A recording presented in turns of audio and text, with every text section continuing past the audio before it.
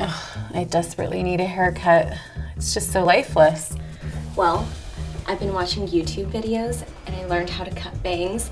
I think you would look great with bangs. What do you think? You wouldn't let your overeager, scissor wielding best friend style your hair. So why would you let your best friend teach you how to ski or snowboard? You better leave that to the pros.